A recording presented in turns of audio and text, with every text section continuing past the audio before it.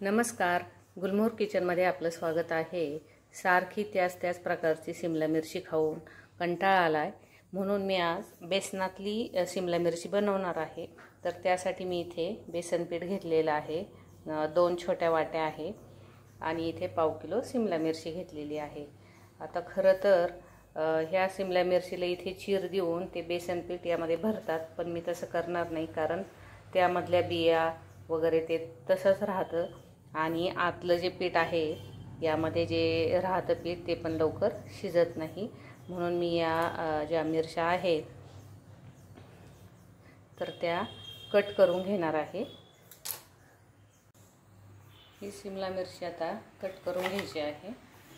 म्हणजे त्यामधल्या सगळ्या या बिया निघून जातात.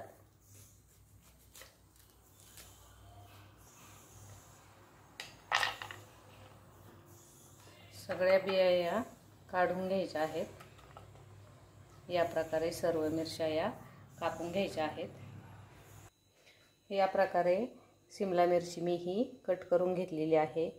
यापेक्षा बारीक मी करणार नाही. तर सिमला मिरची कट करायच्या आधीच मी स्वच्छ धुवून घेतलेली होती. इथे लसूण आणि लसूण आणि जिरे हे ठेचून घ्यायचे आहेत. लसूण आणि जिरे ठेचून झालेले आहेत. व आता हे यामध्ये पिठात घालायचं आहे बेसन पिठात. यामध्ये हळद घालायची आहे. हळदीनंतर लाल तिखट घालायचं आहे.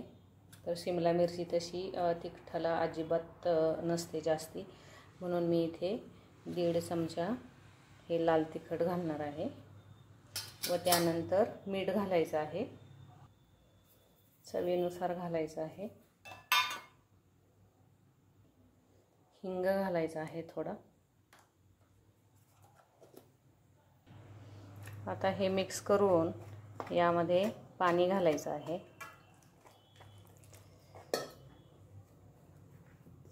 आणि हे हलवून घ्यायचं आहे व्यवस्थित. हे पहा.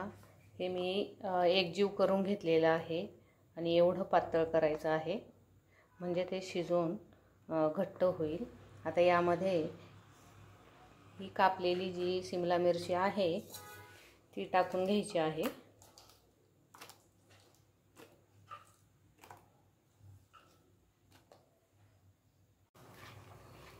व्यवस्थित अशी सगळ्या या मिरच्यांना ते पीठ लागल.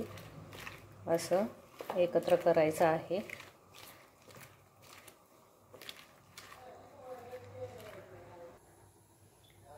कढईमध्ये तेल टाकायचं आहे. तेल थोडंसं जरा जास्त वापरायचं आहे जास्त म्हणजे मी इथे तीन पाळे टाकणार आहे. मोहरी टाकायची आहे. जिरे.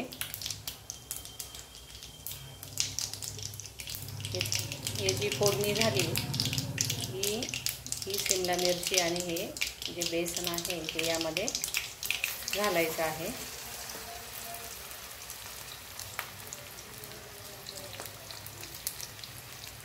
खूप छान लागते करून पहा एकदा नक्की. आणि एकदम सोपी आहे अवघड काहीच नाही आहे फक्त त्यामधल्या बिया ह्या मात्र काढून टाकायच्या. आता हलवून घ्यायचं आहे. एकदा हलवून दिलं की त्यावर झाकण ठेवायचं आहे. आणि अधूनमधून शिमला मिरची शिजेपर्यंत हलवायचं आहे.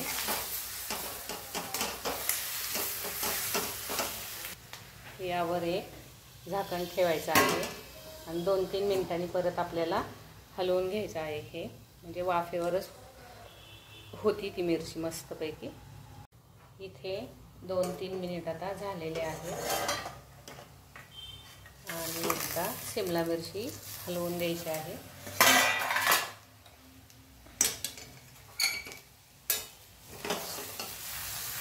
हे पाहू शकता किती छान रंग आलेला आहे.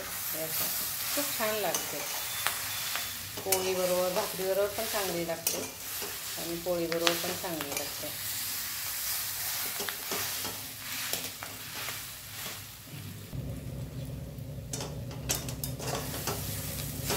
चांगली खालीवर करून परत हलवून द्यायची आहे.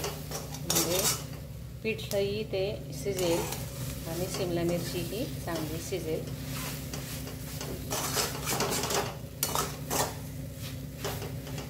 पसरून द्यायची आहे अशी.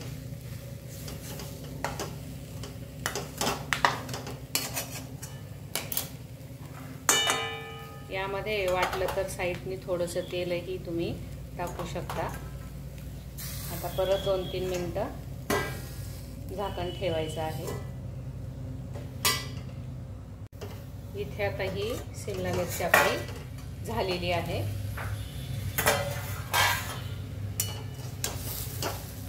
एकदम मोकळी मोकळी अशी झालेली आहे.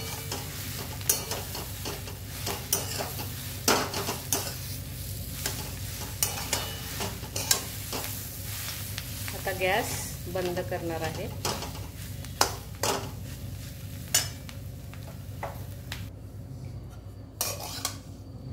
ही सिमला मिरची खूप छान लागते. थोडासा तेलाचा वापर जास्त करावा लागतो. पण घरात सगळ्यांना आवडेल तुमच्या पण घरात आवडेल. नक्की करून बघा. व्हिडिओ आवडला असेल तर लाईक शेअर कमेंट आणि सबस्क्राईब करायला வச்சிடணும் அக்கா